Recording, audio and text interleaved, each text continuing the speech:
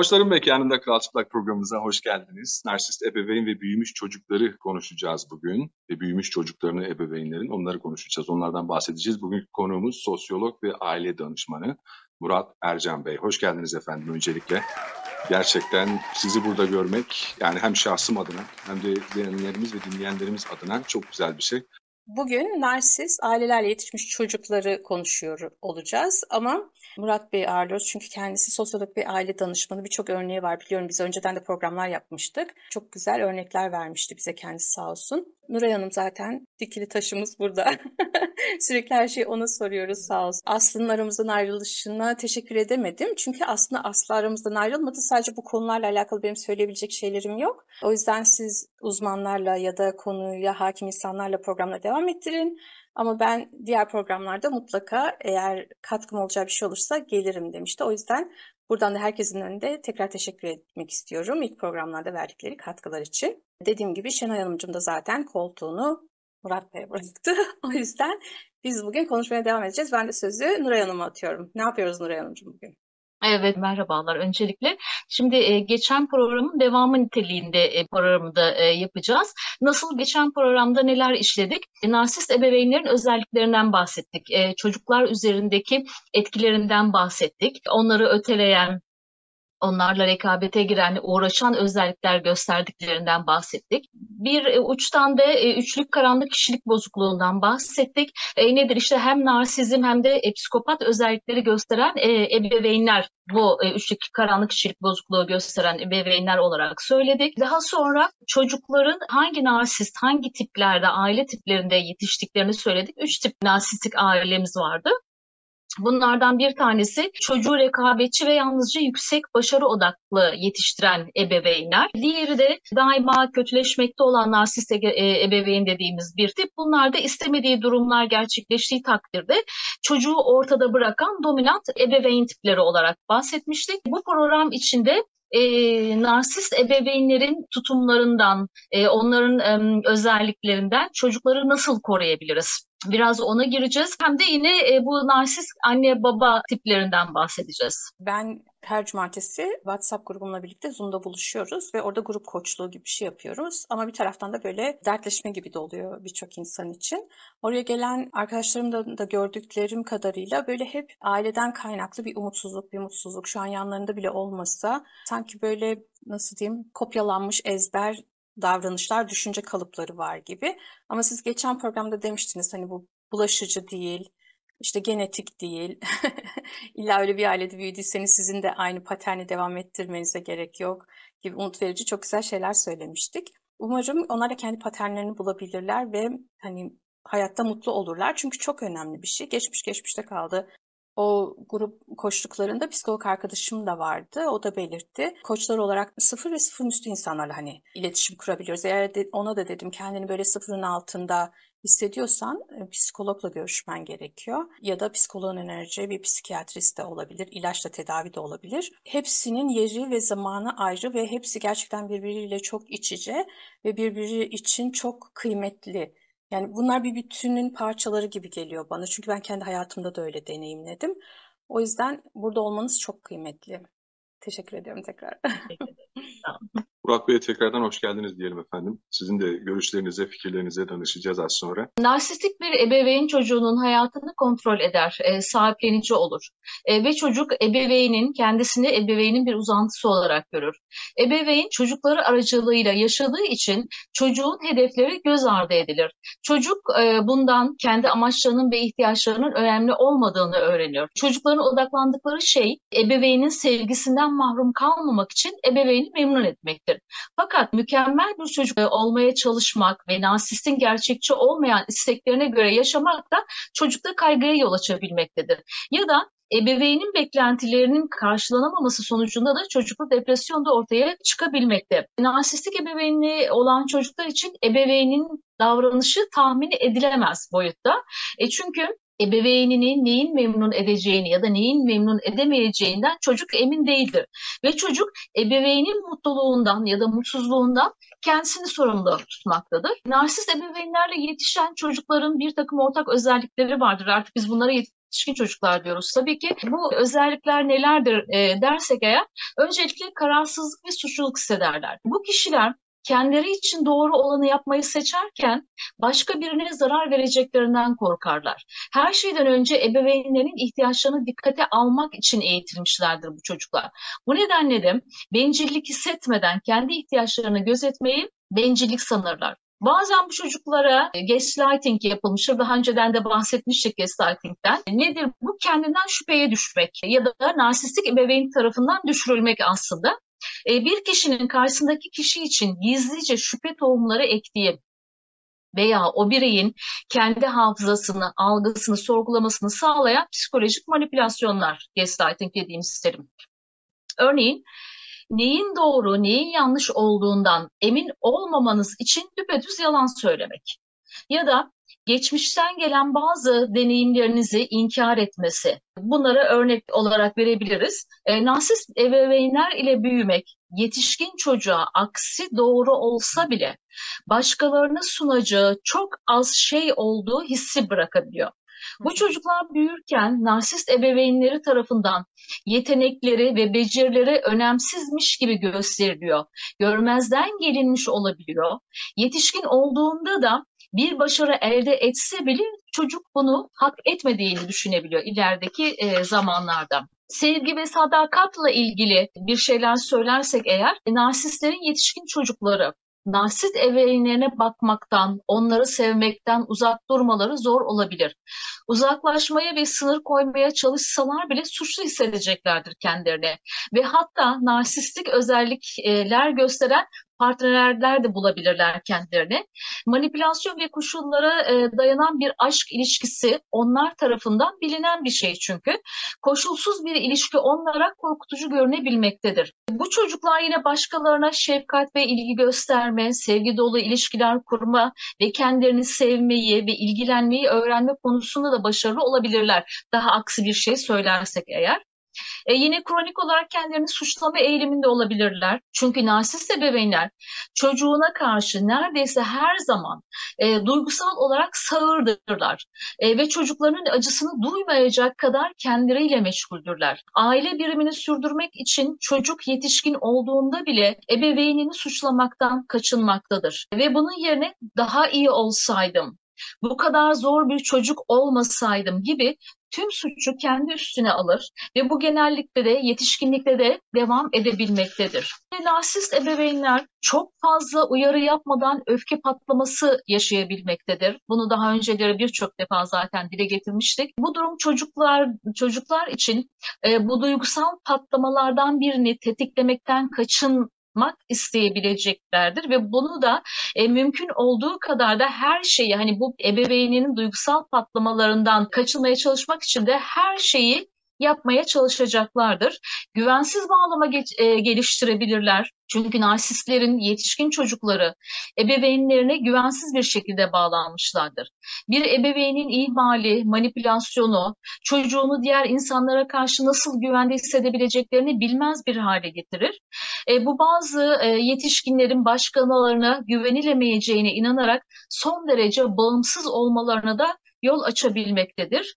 E, bir de ebeveynleştirilmiş çocuk dediğimiz bir şey var. E, burada da e, kişi tüm yaşamlarını, kişiliklerini ebeveynlerin mutluluğu için harcayan çocuklar haline gelebiliyorlar ve daha sonra da hayatlarını başkalarının mutluluğu için uğraşarak geçirebilmektedir. E, genel olarak hani toplamaya çalışırsak narsist ebeveynlerin e, ileride yetişkin olan çocuklarına neden olabildikleri karakter özelliklerini hani bu şekilde söyleyebiliriz ama örnekler konusunda eminim ki Murat Bey'in çok fazla bize e, burada söyleyeceği ya da örneklendirebileceği vakalar vardır. E, o yüzden e, Murat Bey'e ben sözü veriyorum. Teşekkür ediyorum. Şimdi konunun anlaşılması için e, bu hani narsist diyoruz, işte narsizm diyoruz ama nedir yani narsizm nedir, işte narsist kimdir gibisinden arzu ederseniz bir tanımlamalar üzerinden giderim.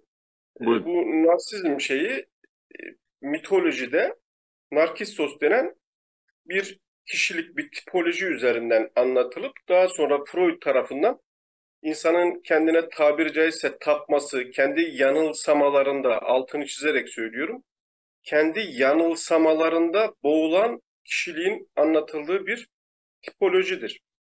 İşte antik Yunan'da geçtiği şekliyle mitolojide tanrılar tarafından kendi tanrının kızına aşkına cevap vermeyen Narkissos cezalandırılarak kendi gölgesinde suya bakarken kendi yansımasına, kendi kendine aşık olmasından dolayı orada kendi yansımasına bakarken orada düşüp ölmesi ve oradan da bugün herkesin bildiği nergis çiçeğinin oradan çıkmasıyla son bulmuş ve bu zamana kadar da anlatıla anlatıla gelmiş. Sonra da işte psikanaliz tarihine de Freud tarafından insanın kendi içinde boğulmasını anlatan bir konu. Ee, ama bu günümüz dünyasında daha çok kullanıldığı şekliyle insanın aynı o şeyde olduğu şekliyle, mitolojide olduğu şekliyle, herkesin kendi gündemine büyülendiği, herkesin kendi gündeminde yok olduğu, kendini biricik ve özel,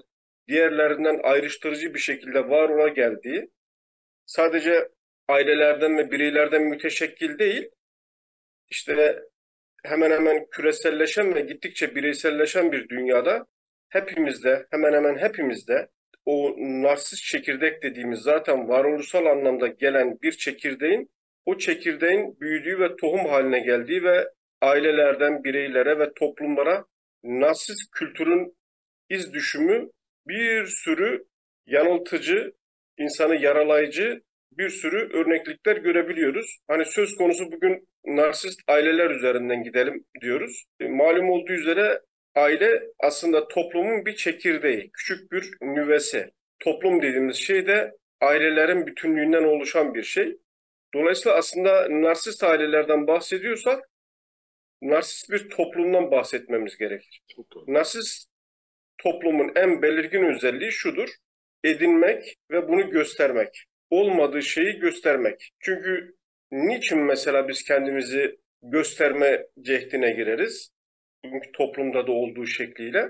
Çünkü hiçleştirilen, bireyselleştirilen, sizin az önce buyurduğunuz şekliyle yetersiz kılınmış, her gün medya bombardımanı altında yetersizliği ifşa edilen bireyin zihni kendini bir şekilde var kılabilmek için altını çizerek söylüyorum.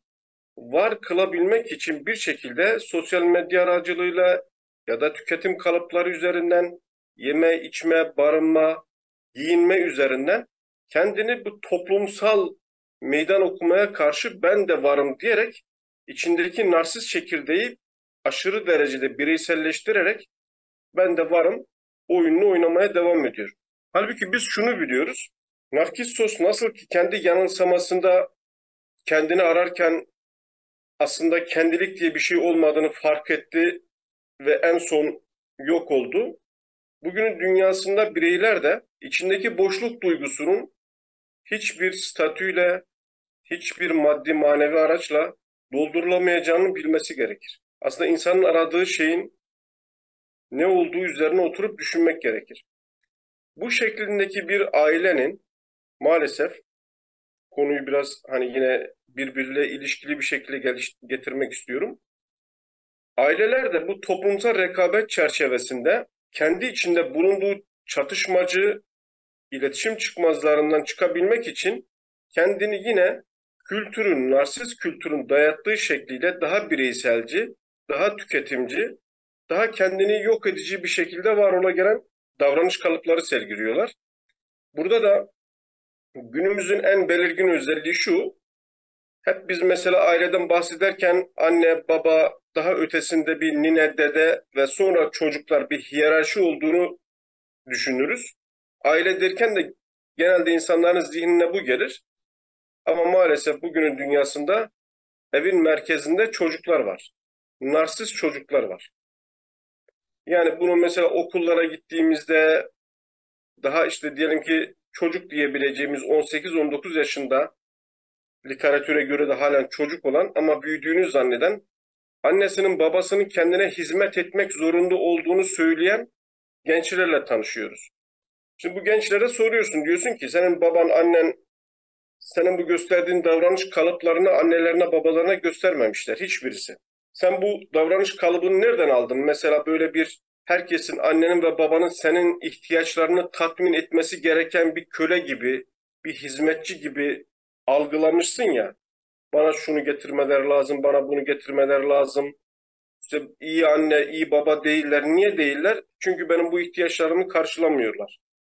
İhtiyacın dediğin şey gerçek bir ihtiyaç değil. Niye? Çünkü narsizm kültüründe küreselleşen bütün bu günümüz dünyasında artık ihtiyaçlar üzerinden insanlar bir şeyler tüketmiyorlar. Tüketimin kendisi bir ihtiyaç oldu. Yani bizi dinleyenler lütfen iyi düşünsünler şu söyleyeceğim sözü. İhtiyaçlar üzerinden artık hayatlar idame ettirilmiyor. Tüketimin kendisi bir ihtiyaç oldu. Tüketmediğin zaman sen üstün, kaliteli, olması gereken bir varlık olarak olmuyorsun. Yani bir hiçsin tabiriyle hem günümüz kitle iletişim araçlarından hem bizim birbirimize kendi yanlış e, empoze ederek kendi kendimizi zehirlediğimiz bir durum söz konusu. Şimdi buradan neşet ederek ailenin merkezinde çocuğun olduğu ve çocuğun da ihtiyaçlarının kitle iletişim araçları tarafından belirlendiği bir dünyada o ailenin kendisinden ne kadar bahsedebiliriz bilmiyorum. Çünkü ortada bir aile yok.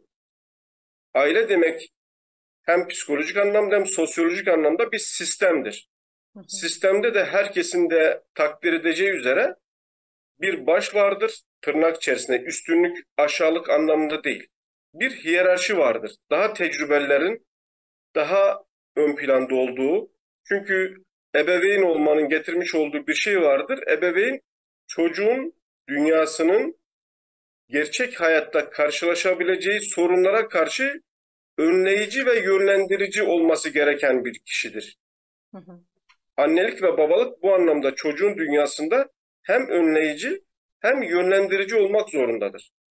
Şimdi biz farkında olmadan Instagram'ından, Facebook'undan, farklı farklı şeylerden bireyciliğin abartıldığı, ailenin kendi içinde sizin az önce söylemiştiniz ama narsizmin en çok ailelerde en çok belirgin olan tavrı tam da sizin az önce söylediğiniz taraftan. Narsizm insanların birbirine bağlanmasını, bağlılık göstermesini engelleyen bir hastalık. Çünkü herkesin kendisi için yaşadığı bir ailede, herkesin kendini sev, başkaları yok gibi bu kendini sev meselesi de maalesef hani yanlış anlaşılıyor. Mesela hani bu bunun high school'dan gelen bir kendilik bilinci dediğimiz şey var. Bu kendilik bilinciyle kendin için yaşayla narsizm arasında çok ince bir çizgi var. Eğer oranın gerçekten ayırdığına varamazsak kendin olmak derken narsist olup çıkarız. Zaten içimizde her bir insanı doğuştan gelen bir narsist çekirdek vardır. Kendini önceleyen, ben merkezci bir şeyi vardır. Herkesin kendisine hayran olunmasını bekleyen bir zaaf tarafımız vardır. İşte o zaaf tarafımızı eğer gerçek anlamda onaramazsak farkında olmadan nasıl ki Narkissos hiç kimseyi bulamayınca, hiç kimseyi sevemeyince kendini sevmeye başladı. Aslında kendi kendi e, e, gölgesinde o suyun yansımasında kendisini görürken de farkında mısınız? Hep birlikte düşünelim istiyorum dinleyicilerle birlikte. Narkissos mitolojisini iyi okurlarsa göreceklerdir. Orada kendini arayan, kendinden başkasını bulamayan, bütün insanlardan, bütün her şeyden nefret eden ama kendini de tam sevemeyen. Kendini ararken kendi ötekisini oluşturamadığından dolayı kendini de tam tanıyamadan ölen bir varlık var. Dolayısıyla bugün dünyasında da gençlerimizin ve ailemizin bir ötekisinin olması gerekir. Ötekisi olmayanın benliği de olmaz. O zaman araya Nasıl ki Narkissus Hı, buyurun. Buyurunuz tabii ki. Nurhan Hanım dediğinde şey demiştiniz hani bu e ebeveynler kendilerini e, çok önceledikleri için çocukların e, e, benlik duyguları gelişmiyor. E, hatta çocuklar da gelişmediği için e, onlar da ailelerini önceliyor. Yani sanki önce onlara bakmaları gerekiyormuş, onları beslemeleri gerekiyormuş gibi bir histeler. diye söyledi. Ben öyle anladım ama sizin söylediğiniz tarafta da çocuklar tarafından bakıyorsunuz gibi geldi bana. Çocuklar böyle oluyor çünkü sosyal medya ve ailenin getirdim ama gene aileden geliyor gibi değil mi? Bu konuda e, dinleyicilere de bir kitap önerisinde bulunabilirim. Christopher Leş'in e, Narsizm Kültürü denilen bir kitabı var. Muhteşem bir kitaptır. Günümüz dünyasında narsizm bir kültürdür. Bütün dünya artık narsist bir kültür içerisinde büyüyor. Yani biz sadece olayı belki böyle sadece aile ve birey bağlamında Bugün Hani o çerçevede tabiriyle- konuşmaya çalışıyoruz. Bugün narsist ailelerin yanında büyümüş, onların yetiştirdikleri çocukları konuşuyoruz ya ama sizin söylediğiniz şey de çok kıymetli. Çünkü Çok. o bana bakmaları gerekiyor, beni beslemeleri, beni doyurmaları gerekiyor dediği şey de aslında ihtiyaçları olmayan şeyi e, ihtiyaç toplumu haline dönüştürdükleri için böyle yapıyorlar dediğiniz noktada da gene bana göre siz onu anlatırken ailenin katkısı var. Aile onu öyle göstermesi o öyle görmez diye düşünüyorum. Ne dersiniz? aile işte aile e, öyle olmak zorunda bırakılıyor. Çünkü aileler arası bir rekabet var. Yani para edinmek ve bunu göstermek sadece para edinmek mesele değil. Yani parayı göstermek ya da kendimizde ne varsa bunu göstermek toplumsal koşullar çerçevesinde bize dikte edilen bir şey. Sosyal medya bunun belki de bir anlamda kendimizi var kılma çabası. Hepimiz hemen hemen 1980'li yıllardan itibaren Türkiye'deki iç göçle birlikte tarımdan sanayileşmiş, yarı sanayileşmiş, geç sanayileşmiş bir topluma evrildi Türkiye. 2000'li 10'lu yıllardan itibaren ise internet çağı dediğimiz akıllı telefonların oluştuğu, artık dünyanın makluhanın tabiriyle küresel bir köy haline geldiği bir dünyada yaşıyoruz. İşte şimdi sizin mesela Kanada'dan benim Bursa'dan konuşmam gibi. Sınırların olmadığı, herkesin herkese ulaşabildiği bir yerde çocuklar artık bizim çocuklarımız değil. Çünkü aile dediğimiz şey, aile dediğimiz şey annenin ve babanın kendi kültürünü çocuklarına aktardığı ve çocukların da annenin ve babanın birebir kopyası olmasa bile ama kendinden hem genetik hem de düşünsel ve davranışsal anlamda çok getirdiği bir şey. Yani bir sürü davranışını aldığı bir yer.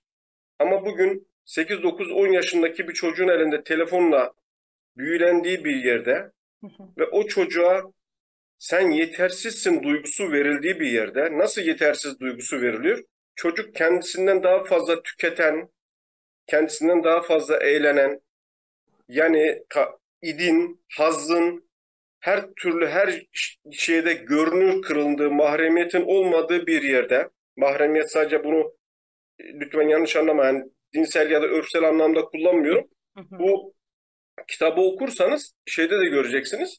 Yani bu mahremiyet dediğimiz şey insanın özelinin, ailenin özelinin olmadığı bir yerde biz aileden nasıl bahsedebiliriz ki? Ama şimdi siz sosyolojik, ben sizin lafınızı keseceğim çünkü sosyolojik bir şeyden bahsediyorsunuz. Biz şimdi Evet, sosyolojik bir hem şeyden sosyolojik hem bahsetmiyoruz. psikolojik. Ee, tamam psikolojik Hmm. tarafı da var ama aile olarak düşündüğümüzde yani o narsist ailelerin yanında yetişmiş, büyümüş çocukların bugününün onların sorunlarına çözüm için bu programı yapıyoruz değil mi? Ben öyle, doğru mu anlıyorum? Nuray Hanım. Aileler Evet, evet. Yani bu narsist çocukların özellikleri e, e, ve e, ailelerinden nasıl e, hani korunması gerektiğiyle ilgili. korunması gerekiyor. Tamam. Ya çünkü şimdi o Yani sosyolojik bilgiye anlaşılması girersek çıkamayız ki zaten o çünkü- sosyolojik sorunlardan. O yüzden Anladım hani ama şimdi oraya Ama almadan örnekler de çok güzel bu arada. Onu da değinmeden geçemeyeceğim yani. İnanılmaz güzel örnekler geliyor. Hani zihin açıcı. Hı hı. Bu açıdan da çok oraya, faydalı olduğunu oraya düşünüyorum almadan Murat Bey. öbür tarafı anlayamayız. Şimdi oraya, oraya da gireriz, oraya da bir şeyler söyleriz. Ama şemsiyeyi anlamadan onun altında olanları anlayamayız. Yani doğru. niçin mesela bu hani yaralı olanlar başkalarına yara veriyorlar? Anne baba niye yaralı? Herkesin kendi çocuğundan bu kadar aşırı talepkar olma durumu acaba içinde yaşadığımız koşullarda çocukları yarıştırmanın altında bizim kendimizi eksik işte orada ailenin şunu anlaması ve çocuğun şunu anlaması gerekir. Biz bu yarışın içerisinde olmak zorunda değiliz. Dolayısıyla bu yeterlilik duygusu diyeceğimiz yani narsizme belki çözüm olarak da sunulan yeterlilik kavramı üzerinde durursak hem çocuğun hem de anne ve babanın kendi koşullarında talepkar, olmayan yani olmadığı şey gibi gözükmeden kendi içinde eksiğiyle kusuruyla zaten eksiklik dediğimiz şey aslında bir tanımlama. Yani bunu nereden baktığımızda bizi eksik hissettiren ne? eksik? Kime göre eksik? İşte, e, o eksiklik hissettiren kültürün kendisi. Aynen. Yani özellikle medyatik, sadece medyatik bu kapitalist kültürün bize belki de farkında olmadan bizi yarıştırdığı, bizimle niçin yarıştığımızı bilmeden kendi Evet. aramızda hissetmekten daha çok işitme üzerine kurulmuş bir ilişki biçimi. Narsist ailede büyüyen bir çocuğun en çok hissettiği duygu kararsızlık ve suçluluk psikolojisidir. Çünkü narsist anne ve baba tarafından güdülenen, beklentiler üzerine kurulmuş bir kişilik tabiri caizse kendi gözlerinden hayata bakmak yerine annesinin ve babasının gözleriyle hayata bakmaya şartlandırılmış çocuk Hı hı. kendisini yarış içerisinde hissettiği için bir de kendilik dediğimiz ben ne olmak istiyorum sorusuna cevap noktasında o günkü çocuk olmanın getirmiş olduğu yetersizlik duygusuyla cevap veremediğinden dolayı annenin ve babanın öğrettiği şekliyle farkında olmaksızın kendi anne ve babasının narsist çekirdeğini alır devam ettirmeye çalışır. Bu da kendisinde kararsızlık ve suçluluk psikolojisi oluşturur. Çünkü niye? Karşısındaki anne ve baba tutarsızca taleplerde bulunur, tutarsızca sever. Bazen duygu durum bozukluğundan dolayı aşırı derecede takdir edilen, övülen, çocukta hiç olmayan yetiler üzerinden sırf kendi çocuğum diye Hı hı. abartılmış bir sevgiyle övülen çocuk başka bir zaman babanın ya da annenin toplumsal koşullar ya da ekonomik durum ya da insanlar arası ilişkilerdeki çıkmaz sokaklarda boğulurken yaşadığı öfke nöbetlerinde bu öfke nöbetlerinin getirmiş olduğu şeyle çocuğu hiçleştiren, çocuğu yok sayan, varlığını yok sayan, sen niçin yaşıyorsun ki, niye varsın ki? Seni bu dünyaya getirmekle sanki günah işledim gibi, pişmanım gibi bir algıyla çocukla konuşunca ve çocuğa bunu hissettirince bu çocuk da ister istemez kararsızlık vadisinde ya da suçluluk psikolojisi içerisinde yaşamaya çalışıyor. Tabii bunu bu bizim kaderimiz değil. Değil. Yani bu tür bir ailede büyüyen bir çocuğun da anlaması gereken bir şey var. Hiç kimse doğduğu anneyi, babayı, aileyi seçmiyor. Dolayısıyla burada annemizin ve babamızın yaralı olması, kendi kişisel hikayelerinde kendilerince bir anlamlı şeyler olabilir. Onlar da yaralı ya da onlar da yaralı çocukların çocukları olabilir. Ama biz bu aktarımı bir de durdurabilmek, kendimiz olabilmek, aileden daha sağlıklı iletişim metotlarını alarak ki ailenin içerisinde her şeyde kötü olmaz. Anne baba genelde narsist anne babalarda aslında kendileri kendilerini var kılma çabası olarak bir savunma mekanizması olarak narsist olurlar. Narsizm illetini gerçek anlamıyla bilen birisinin narsist kalabilmesi çok zordur. Narsist aslında kırılgan çocuktur. Narsist olması gerektiğine inanan ama bir türlü o kişiliğe olamayan kişinin hayallerinde kendi kendini yarattığı bir şeydir. Hı hı. Çok güzel bir nokta Evet. gerçekten. Burada yine Narkissos'tan örnek verirken, verirsek farkındaysanız Narkissos'un bir ötekisi yoktur.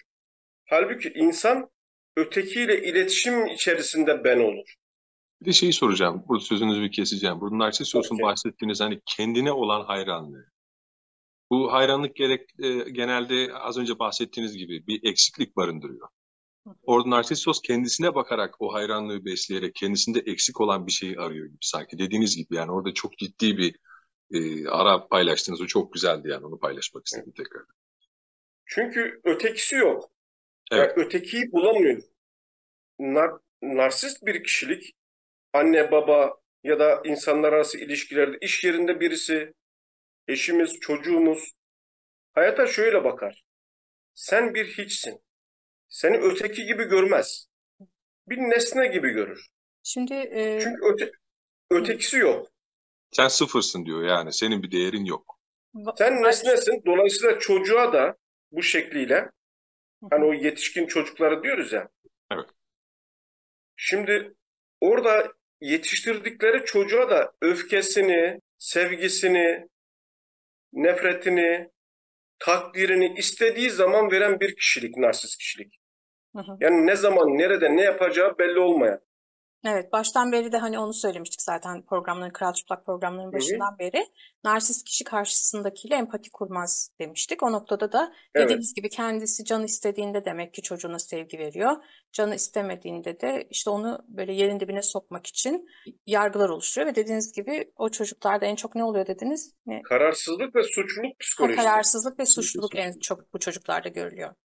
Ee, peki Çünkü bu o noktada kararsızlığı nereden alıyor? Tutarsız anne babadan alıyor. Hı hı, Gereksiz yere övülen, hı hı, gereksiz yere yerilen bir çocuğun kendi duygularından emin olması beklenilemez. Çünkü çocuk malum olduğu üzere çocuk hayatı öğrenmekle, belirsizliklerle baş etmek zorunda olan bir varlık. Dolayısıyla burada ilk bilgiyi ve ilgiyi alacağı yer ailesi. hı hı, Şimdi orada da tutarsız anne baba sendromu olunca hı. beni övdün, niye övdün mesela? Ya da bana beni dövdün, niye dövdün? Çocuk kendi içerisinde bunun gerekçesini görmediği zaman daha sonraki yaşam koşulları içerisinde kendisi karar verme noktasında kendinden emin olamıyor. Çünkü zamanında kendi duygularıyla oynanmış. Evet. Geçen hafta da değinmiştik bu Hı hı. bu tür çocuklarda mesela diyelim bir şeyler yanlış gittiğini fark ediyor fakat neyin yanlış olduğunu anlamıyor demiştiniz değil mi Nuray Hanım? Evet, Orada evet, evet. mesela benim örneklerden birinde bizde ben de geçen hafta demiştim bizdeki sorun belki de ailenin kutsal olarak algılanması ve ona ne yaparsa doğru diye algılanması. Sonra azıcık biraz o çocuk fark ettiğinde bir şeyler ters gidiyor gibi diyelim çevresine söylemeye başladığında da çevresi ona e, yani benim e, örnek vereceğim hikayede ya annedir yapar, babadır yapar. Neyse sen görmezden gel gibi. Ama tabii daha ileriki yaşlarında da daha kendinin böyle psikolojik olarak çöktüğü zamanlar yaşamış ve e, çıkış yolları aramaya çalışmış bir kişi kendisi.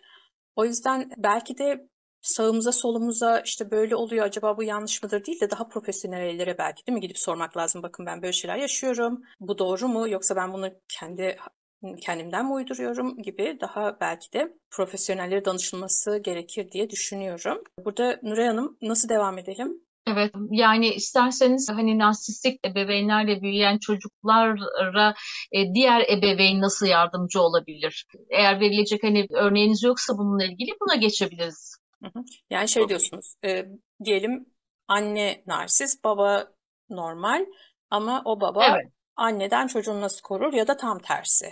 Ama aynı evin içindelerken değil mi? Çünkü bir de şey sormuşlardı ayrıl, ayrılınca ne yapabiliriz diye bir de o soru var. Onu da e. bilmiyorum cevap olur mu ama aynı evin içinde nasıl yapabilirler? Evet, oradan evet. Aynı edelim. evin içinde nasıl koruyabiliriz diğer e, ebeveynden, narsist ebeveynden?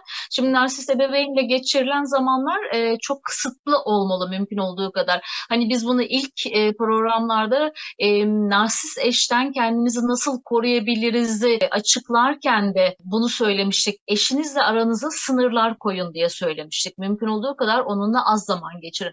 Bunu çocuklar için de yapabiliriz. Yapmalıyız da zaten. Çünkü e, narsist ebeveynler çocukların e, gerçeklik algısını bozuyorlar. Çocuğun kafasını karıştırıyorlar. Bu hasarı en aza indirmek için de çocuğun narsist olmayan ebeveynin savunması çok önemli. Çünkü fiziksel istismarın verdiği bir hasar hani bir süre sonra kaybolabiliyor ancak duygusal istismarın verdiği hasar ömür boyu sürmekte. O yüzden de mümkün olduğu kadar e, narsist olan e, ebeveynle çocuğun arasına sınır koyup çocuğun o ebeveynle mümkün olduğu kadar az vakit geçirmesini sağlamak ya da bir karar alınırken narsist ebeveynin o kararlar dışında mümkün olduğu kadar tutulması gibi hani örnekler verebiliriz. Pardon bir araya gireceğim. buyurun. Böyle olunca da bir şey olmuyor mu mesela? Arada bariyer gibi anne ya da baba oluyor ve baba değil ama eğer kadınsa bu hatta çocuğuna uygulayacağı şiddeti aradaki bariyere uyguluyor. Yani o kadına uyguluyor. Evet. Evet, Ee, evet öyle maalesef öyle bariyer almak zorunda. Çünkü başka türlü ya aslında çocuğu narsist ebeveynden korumak çok zor zaten.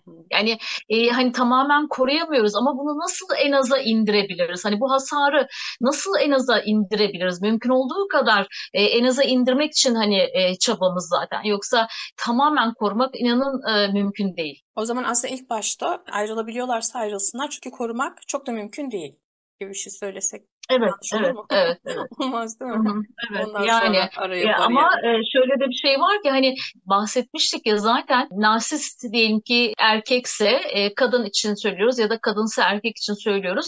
Hani ben bu kadar yıllık evliyim, evliliğimi bozmayayım ya da işte çocuklarım da oldu hani bu evliliğe çocuklarım için dayanayım diyor. Evlilik zaten sürdürülüyor ya yani hemen boşanma evresine gelmiyor zaten. Çünkü narsistin karşısındaki eş de zaten bağımlı, o narsist kişiye bağımlı. E, ondan kolay kolay kopamıyor zaten. Dolayısıyla da boşanma artık en son aşama. E, narsist partnerin eşi artık hani tüm gerçeği görüp de kral çıplak diyoruz ya artık kral çıplak hani bu kadar yeter. Ben artık kendime farklı bir yol çizmeliyim. Ben artık evet bazı şeylerin bilincine vardım. Evet yani bu şekilde e, devam etmez ya da kendimi daha fazla e, koruyamam. Bu birliktelik devam ettiği sürece dediği zaman zaten boşanma geliyor. Hı Ama işte çocuklar var biraz daha devam ettireyim dediğiniz sürece zaten boşanma e, olmuyor. E, bu durumda da işte çocuğu nasıl koruyabiliriz o zaman? Mi? E, çocuklara karşı dürüst olabilirsiniz. Onlara neyin yanlış, neyin doğru olduğu anlatılabilir çocuklara. Ya bu şu, şu demek değildir. İşte e, diyelim ki senin baban ya da senin annen şöyle şöyle şöyle bana da şunları şunları yapıyor deyip de kendinizi çocuğun hani dert ortağı gibi adlandırmamak da gerekiyor. E, sadece her şeyi normalmiş gibi göstermemek gerekiyor çocuğa. Sessiz kalmak, yorum yapmamak. Hani bu şekilde de çocuğu koruyamayız aslında. Çocuğa biraz hani ufaktan e, ufaktan gerçekleri de anlatmakta fayda var. Çünkü bir süre sonra hani e, biraz önce size bahsettiğiniz çocuk zaten e, zaman ilerledikçe aslında neyin doğru neyin yanlış olduğunu zaten anlıyor. Kendisi de bir şeylerin yanlış gittiğini zaten anlıyor. E, ama biz hani küçüklükten itibaren belki biraz biraz çocuğa bunları anlatabiliriz. Peki bu anlatılırken nasıl bir dil kullanılıyor ya da onun için ayrı bir psikolog yardım falan mı gerekiyor? Öyle mesela narsist e, anne ya da ba- baba eşine e, birçok manipülasyonda bulunuyor demiştik zaten. Duygusal istismarda da bulunuyor. Çocuğa belki bu manipülasyonlar anlatılabilir. Bu duygusal istismar e, anlatılabilir. E, manipülasyonların ne olduğu öğretilebilir çocuğa. Verilen örnekler, e, açıklamalar çocuğun yaşına uygun olması gerekiyor tabii ki. Hani basit, kısa e, ve gerçekçi bilgiler olmalı tabii ki bu. Bu şekilde çocuğun e, e, ebeveynin yıkıcı yanlarından da uzak kalması sağlanabilir belki. Hani çocuğa yaklaşırken şefkati ve empatinin de elden bırakılmaması gerekiyor. Kendinize olan yani diğer ebeveynin kendine olan güven, güveni, gücü, kendine olan inancını çocuklara da göstermesi gerekiyor bu şekilde. Ama tabii ki dediğim gibi bunlar hep basit, kısa ve e, mümkün olduğu kadar da gerçekçi olması gerekiyor. Murat Bey'i biliyorum ben ailelerle çok çalışıyor. Narsist ailelerde yetişen çocuklar belki de bu hayata 1-0 yenik başlayan çocuklar olarak nitelendirilebilir. Çünkü çocukluk insanın ana vatanı ve bu anlamda aslında geçmiş dediğimiz şey aslında yüzleşip aşılmamışsa geçmemiş olandır. Narsist bir anne ve babanın çocuğuna yaptığı en büyük kötülük belki de kendi geçmişini, bedelini çocuğuna ödettirmesidir. Kendi geçmişte yaşadığı acıları, travmaları, içinden çıkamadığı bütün olayları yeryüzüne istenmeden gelen çocuğun sanki o garibim küçük omuzlarında her şeyi taşımak zorundaymış gibi yetersiz anne ve baba tarafından çocuğun omuzlarına yüklenip anne ve babanın geçmişteki acılarını benim adıma sen taşı, sen benim sorunlarımı çöz, sen benim her türlü hem travmatik hem maddi manevi bütün sorunlarımı çözmek zorundasın. Niye? Çünkü ben seni yeryüzüne getirdim. Der gibi bir minnet içerisinde hep suçlu hissettirmesinden kaynaklanan bir durum. Bu anlamda çocuk aslında yeryüzüne gelirken dezavantajlı bir şekilde gelir.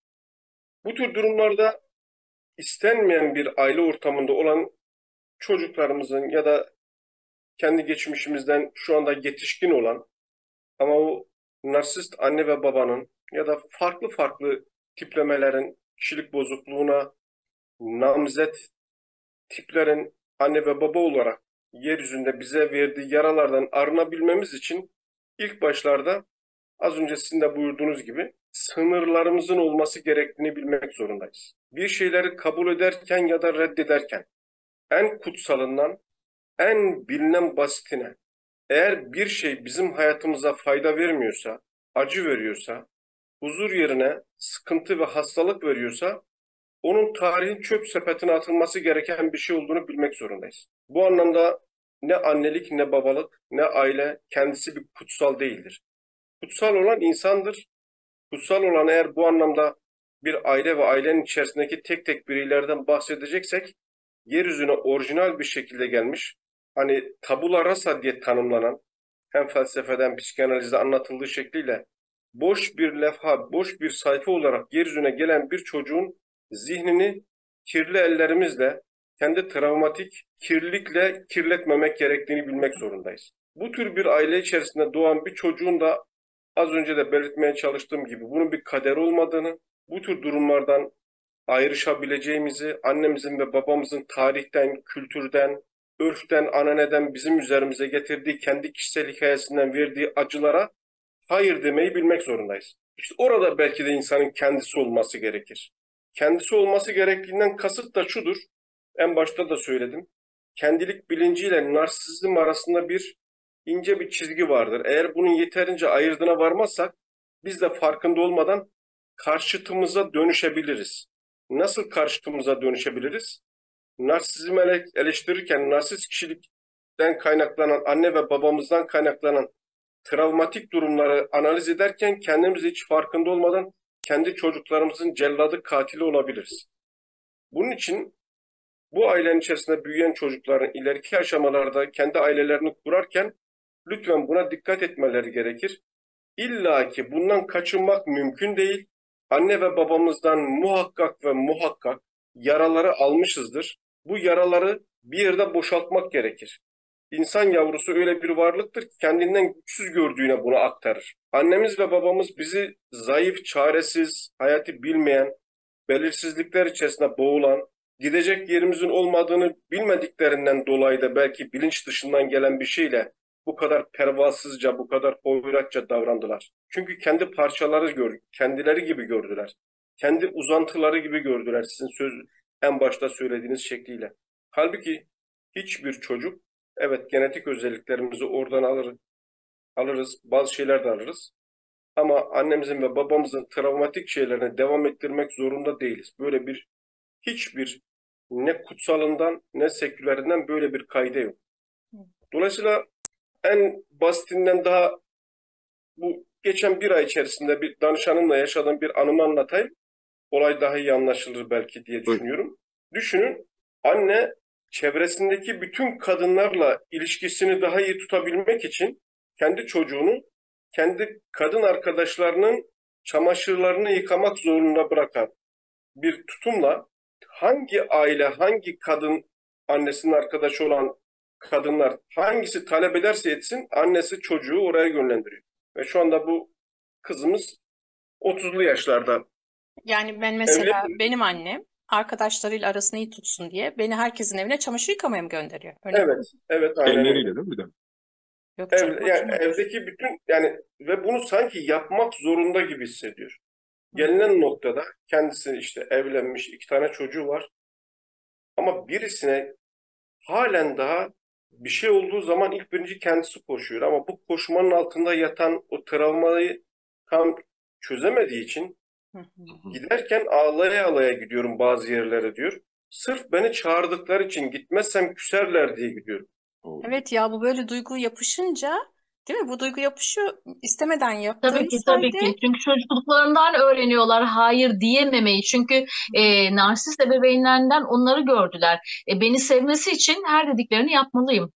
Hmm. Evet. Dediğiniz gibi bu yapışıyor me- üstüne. me- mecburmuşuz gibi. Çünkü anne çocuk annenin gözlerinde hayatı bulur. Hani Narkissos nasıl ki kendi gözlerinde kendini aradı ya. Hı hı. Çocuk da annenin gözlerinde kendini arar. Hmm. Şimdi anne orada onaylanma bağımlısı bir kişilik yetiştirmiş. Aslında annenin kendisi de yaralı. Şimdi siz böyle Sırf o kadınlarla arasını iyi tutabilmek için Hı hı, kendi çocuğunu kurban ediyor. hı hı. Şimdi siz böyle söyleyince geçen hafta konuştuğumuz konulardan biri de buydu. Ama şimdi düşünüyorum mesela belki annesi yok yanında artık ya da babası kimse o onaylanma hissi hissettiği kişinin gözleri olmadığı için halen yapıyor ve mutsuz yapıyor. E, gitmek istemiyor diyor. Ayaklarım gitmek istemiyor. Ben dedim hani vücudunu dinle. Eğer istemiyorsa yapma. Hani mecbur değiliz hiçbir şey yapmaya. Yani o orada şeymiş misafir ağırlayacakmış. Mecbur kaldığı için ağırlıyor o misafiri. Ve hiçbir şey yapasım gelmiyor ve yapmadığım için de sonra işte sen bizi nasıl ağırladın gibi bir de böyle geri yanıt almış akrabası galiba genelde böyle olur ya işte düzgün ağırlamadın bizi falan gibilerden. Evet belki de öyle bir duygu hani artık o gözler yok ve bir umutsuzluk, bir isteksizlik. Hani annesi olsa belki yapsa ve aferin iyi ağırladın bizim kuzenleri falan dese belki seve seve yapacak, koşa koşa yapacak. Ama o Şimdi gözler söyleyince o geldi aklıma. O gözler olmadığı için de ne umudu var yapmış, hiç istemiyor da yapmayı falan ama yapıyor da o ezber. gözleri zihninde taşıyor. Ya O gözleri annesinin gözlerini aslında annesi bedensel olarak ölse bile kendi içinde ölmemiş aslında. ya ne kadar An- annelik imgesi, babalık imgesi biz ölünce ölür. Hani Lacan'ın tabiriyle annelik ve babalık aslında bir simge. Onlarla olan hesaplaşman bitmemişse, onlar 20 yıl önce de ölmüş olsa, 30 yıl önce de ölmüş olsa, şu anda halen yaşıyor olsalar da senin gerçek olan babayla, gerçek olan anneyle aslında alıp veremediğin bir şey kalmamıştır. Çünkü onlar diyelim 80-90 yaşındadır, çaresizdir. Kendileri çocuk haline gelmişlerdir. Senin bakımına ihtiyaçları vardır. Sen onların annesi ve babası olmuşsundur. Ama sen kendi içinde annen ve babanla hesaplaşıp, yüzleşip, yasını tutup onları aşamadığın müddetçe onların sende oluşturduğu travmayı taşımak zorundasın. Bunun için Çünkü annen babanın ölmesiyle, annenin babanın ölmesiyle anne baba ölmüş olmaz. Biz zihnimizdeki anne ve baba imgesini gerçek anlamıyla bir ebeveyn moduna getirip kendimizin artık bir belki de annenin ve babanın sevgisine, bakımına ihtiyaç duymadığımızı fark edip bir yetişkin olduğumuzu fark edince aslında travmalarımız iyileşecek. O çocuk modundan o zaman çıkacağız. O çocuk modundan çıkabilmek için ilk birinci anne ve babanın zihnimizde oluşturduğu, çocukluğumuza getirdiği otoriter, tırnak içerisinde totaliter, her şeyi bize mecbur bırakan anne ve baba imgesini bir kenara bırakmak zorundayız. Evet. Onların artık bakımına da, sevgisine de, hiçbir şeyine tırnak içerisinde ihtiyacımızın olmadığını fark edip kendi ayaklarımız üzerinde kendi kendimize yetmeyi öğrenmiş bir şekilde kendimizi affederek, onları da affederek, onların yaralarını da görerek, bilinç dışından gelerek bize aktardıkları bütün yaraları onlarla birlikte mezara gömdüğümüz an biz iyileşmeye başlamış ve bir yetişkin olarak hayatımızın kontrolünü elimize almışız demektir. İyileşme buradan başlar. Harika. Buyurun Nuray Hanım. Evet, e, hayatlarının hani bir kısmını narsistlerle, narsist ebeveynlerle geçiren kişilerin de artık yani kendi duygularını, geçerliliklerini, gerçeklerini anlama e, becerisi de zaten zamanla azalıyor. E, bu çocuklar için e, hani riskli bir durum. Çocuklar kendi isteklerini ifade etmekte, duygularını açıklamakta da zorluk çekebiliyorlar. Bunun için de e, diğer ebeveynin yapacağı e, şeylerden biri de çocuğun e, kendi hislerini anlamasında yardımcı olmaya çalışmak. Çocuğu bunun için de çocuğun duygularını önce e, siz anlayacaksınız ki sonra da e, bunu onaylayarak çocuğa göstereceksiniz ki çocuğun e, o duygularının, tercihlerinin önemli olduğunu, kabul edildiğini de çocuk görsün. Bunun için de e, çocuğa güvenlik duygusu da vermek gerekiyor. Hani narsist bir e, ebeveyne yaşayan çocuk kendisini yanında güvenli hissedebileceği bir ebeveyn e, ihtiyacı hissediyor. Hani bunu anne ya da babadan göremediği zaman diğer e, ebeveynin annesinin ya da babasının bu güveni vermesi gerekiyor e, çocuğa. Bunun için de e, diğer ebeveynin çocuğa güvende hissetmesini sağlaması gerekiyor. E, ve narsistler hani e, nasıl seveceklerini ya da sevileceklerini de bilmediği için e, sevgi onlar için ticari bir şey oluyor aslında. E, sevginin hani kazanılması gereken bir şey olduğunu düşünüyor çocuklar. Bu yüzden de e, narsistler için hani e, şey diğer insanlar sadece ticari bir nesne ya da kaynak. E, narsist olmayan ebeveynin de bu nedenle çocuğa sevgisini e, ve bu sevginin ne olduğunu öğretmesi gerekiyor.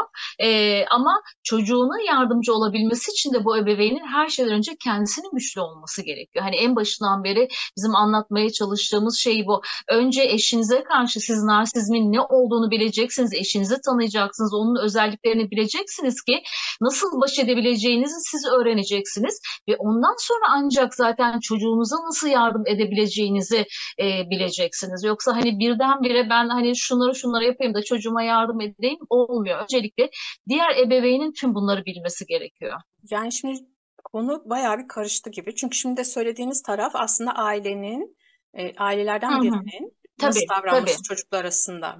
Hala daha Nasıl davranması bir oradan gerektiği. Hı hı. konuşuyoruz, bir çocuk tarafından konuşuyoruz gibi oldu. Bilmiyorum. Bayağıdır da Evet, konuşuyoruz. evet. Yani e, hani ilk başta girdiğimiz konu da e, önce ebeveynlerin çocukları nasıl koruyabileceği tarzında olduğu için hani bu şekilde biraz devam ettim. Yani umarım konu anlaşılmıştır diyeceğim ama eğer yeterli gelmezse de buna benzer konular tekrar e, çekmeye devam ederiz. E, sizin daha ekleyecekleriniz var mı? Yani e, hani karışıklık e, olmaması da belki diğer programa bırakabiliriz. Programımızın sonuna yaklaşırken son sözlerinizi alalım. E, narsist kişi sizden daha iyi biri değildir. Siz yetersiz değilsiniz. Hayatta kalmak için daha güçlü biri e, olmaya da ihtiyacınız yok ya da daha güçlü birine ihtiyacınız yok. Çocukken savunmasızdınız ama değersiz ve e, zayıf değilsiniz. Sadece oyunun kurallarına uymayan biri ile oynamaya zorlandınız. Hepsi bu. Harika. Yani ben tekrar burada araya gireyim. E, çünkü çok e, her taraftan konuşuyor gibi olduk. Tam çocuk tarafını konuşamadık. Arada kalan ebeveyni de konuştuk gibi oldu. Belki bir sonraki programda da tekrar daha detaylı konuya gireriz. E, Hı hı. ben de Murat Bey'e atayım sözü. Evet yani bugün konumuz narsist bir kültürden, narsist bir ailenin fertlerinden anne ya da baba bir bütün olarak bu dünyaya getirmiş olunan çocuğun dünyasında hangi tür yaraları oluşturmaya namzet kişilik bozukluğu davranışları sergiliyor, onun üzerine durduk. Burada anlaşılması gereken bir şey var. Bu içine doğduğumuz ailenin kendisi bir kader değil. Değiştirilemez, dönüştürülemez, hiçbir şey yoktur hayatta. Çünkü insan dediğimiz varlık öğrenerek var olan, öğrenerek gelişen bir evrimsel süreç içerisinde hayatını tırnak içerisinde bizim kadim kültürün tabiriyle tekamül içerisinde değişerek, dönüşerek var ola gelir. Dolayısıyla biz belki de hiç farkında olmadan hem kendi kendimizi yaralamamız, aile içerisinde anne ve baba olarak çiftlerin birbirlerini kendi anne ve babalarından getirmiş oldukları narsist kişilik bozukluğuna namzet davranışlarla iletişim çatışmalarından mütevekkil bunu çocuğa yansıması, çocuğun kendi dünyasında bunu yaralı bir şekilde benimsemesi ve sonraki kendi ailesini kurarken yaşadığı problemlerde özellikle altını çizilmesi gereken belki de belirgin bir şekilde üzerinde durulması gereken şey şu. Narsist kişilik bozukluğunda yaşayan bir kişi en büyük acıyı kendisi yaşar. Acıyı yaşadığı için zaten başkalarına acı verir. Çünkü kendisi yetersizlik duygusu içerisinde kendi içine boğulmanın, kendisi dışına çıkamamanın, kendi ötekisini oluşturamamanın, diğer benlerle, diğer bireylerle sağlıklı, daha dengeli, huzurlu bir ilişki biçimi kuramadığından dolayıdır. Başkalarını nesneleştiren, başkalarını ötekileştiren, başkalarını hiçleştiren bir davranış şeklini benimsemesi. Tabii ki günümüz dünyasında 8 milyar insan var. Başta bir kitap önermiştim, yine aynısını öneriyorum. Christopher Lesch'in Narsizm Kültürü dediğimiz bir muhteşem kitabı var. İçerisinde hem psikanalizin hem sosyolojinin birlikte Richard Sennet'ten da alıntıların olduğu bir muhteşem bir kitap. O kitap bize şunu anlatır. Her kişi kendi zamanının çocuğudur. Dolayısıyla bundan 50 sene, 100 sene önce histriyonik kişilik bozukluğunun daha çok ayyuka çıktığı bir dönemde bugünün dünyasında ise narsizm patlamasını yaşayan bir çağda yaşıyoruz. Çünkü birey olmakla bireyci olmak arasındaki farkı bilmemek, kendi için yaşamakla kendi olarak yaşarken bir başkalarıyla güvenli bağlanmanın olmazsa olmaz olduğunu anlamak. Bunlar bizi daha dengeli, narsizm bataklığına, narsizm e, çıkmaz sokağına sokmadan bu hayatı daha dengeli bir şekilde yaşamamıza yol açabilecek konu başlıklarıdır. Dolayısıyla hem olaya psikolojik hem sosyolojik baktığımız zaman şunu görüyoruz. Aile dediğimiz şey bireylerden oluşur. Toplum dediğimiz şey de ailelerden oluşur. Ailelerin problemli oluşu, toplumun problemli oluşu, tek tek ailenin içerisindeki bireylerin problemli oluşu, bazen bu narsist olur, bazen borderline olur, bazen antisosyal olabilir, bazen bağımlılık problemi yaşayanlar olabilir. Her bir problemde dönüp dolaşıp üzerine mercek tutulması gereken şey aile içindeki sistemin kendisidir. Çünkü aile bir sistemdir. Sadece ve anne babadan oluşmadığı gibi sadece çocukla da oluşmaz. Ailenin merkezinde ne sadece anne ve baba ne de sadece çocuğun olması gerekmiyor. Bunların dayanışmacı, paylaşımcı, birbirlerine hislerin geçtiği, birbirlerinin benliğini gördüğü, o benlik içerisinde de saygı ve sevgi çerçevesinde anlaşılma üzerine kurulan bir ilişki biçimi daha sağlıklı aileler ve sağlıklı bireyler oluşturur. Diğer türlü annenin ve babanın çocuğun nesneleştirdiği ya da tam tersi çocuğun merkezde olduğu, anne ve babanın çocuğun hizmetçisi ve kölesi gibi davrandığı, onun idden yani hayvani dürtülerden gelen bütün duygularını sanki tatmin etmek zorunda olan bir anne ve baba mecburiyeti varmış gibi, görevliymiş gibi anne ve babasının onun bütün tüketim kalıplarını tüketmesinde maddi manevi bütün her şeyi sağlaması gerekir gibi düşünen bir çocuk da aynı şekilde narsizm bataklığına batmış bir çocuktur. Dolayısıyla burada narsist ailede sadece anne ve baba değil, aynı zamanda çocuğun da narsist bataklığa düşmemesi için daha sağlıklı, dengeli, herkesin birbirinin benliği göre, benliğini gördüğü bir sosyal sistem içerisinde, aile düzeni içerisinde hayatı daha huzurlu, kaliteli, mutlu yaşamaya yönelik duygu, durum ve davranış içerisinde olursak hayatı daha yaşanabilir kılabiliriz. Daha kolaylaştırıcı bir şekilde hayatı hayat ağrısına dayanabiliriz yani. Tekrardan çok teşekkürler katıldığınız için Murat Ercan Bey. Gerçekten sizi aramızda tekrardan görmek çok büyük bir zevkti. Bugünkü konumuzla alakalı da gerçekten çok ciddi anlamda farklı yönlere çekerek konuyu daha iyi inceleme şansı yarattığınız, kurduğunuz cümlelerle anlattığınız e, bu yaşanmış hikayelerle. O yüzden çok mutlu olduk. Sizi yeniden aramızda görmek istiyoruz. E, en kısa zamanda müsait olduğunuzda inşallah. E, haftaya yeniden buluşmak üzere diyelim o zaman. Kral Çıplak'tan hepinize güzel bir hafta dileyelim. Görüşmek üzere. Hoşçakalın. Hoşçakalın.